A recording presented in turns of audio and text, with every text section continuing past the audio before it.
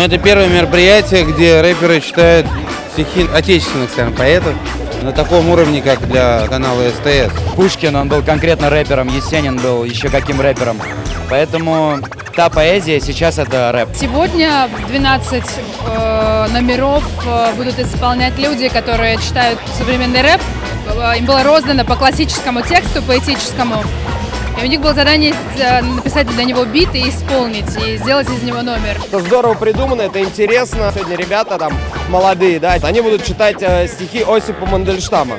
Я так немножко выпал в осадок, то есть это все-таки такая лирика очень взрослая, очень умная. Я не знаю, насколько они прочувствуют этого поэта, но, на мой взгляд, тем не менее, это как, как э, в храме с младенчества детей выводят, все равно они пропитываются той атмосферой э, и тем таинством, которое там есть. Рэп и поэзия – это все-таки единые вещи. Я это очень давно знал, но э, неплохо бы объяснить это обычным людям.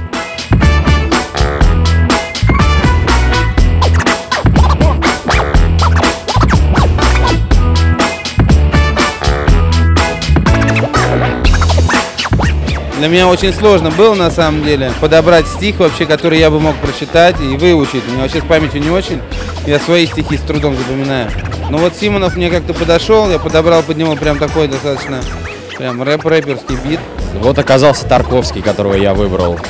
Так идеально лег и на музыку, на мою, и на мою душу как рэпера. Мне пришлось немножко сократить его стихотворение, но тем не менее, я думаю, это будет самый длинный стих в сегодняшнем проекте все равно. Трудностей было много. В рэпе есть какие-то свои законы, там есть какие-то квадраты, люди привыкли читать рэп по определенную рифму. Есть поэты, которые, естественно, не держали это в голове, когда писали эти стихи. Мне достался стих Лермонтова Михаила Юрьевича. Я изначально должен был читать другое его произведение.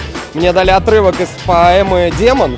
Признаюсь честно, для меня это оказалось очень сложно. Вот, очень сложный слог, э, очень сложные рифмы. Все получили огромное удовольствие от этого проекта, и все получилось очень хорошо, как вы видите и слышите сами. Читайте книжки, чаще смейтесь, и пусть с вами происходят самые различные приключения.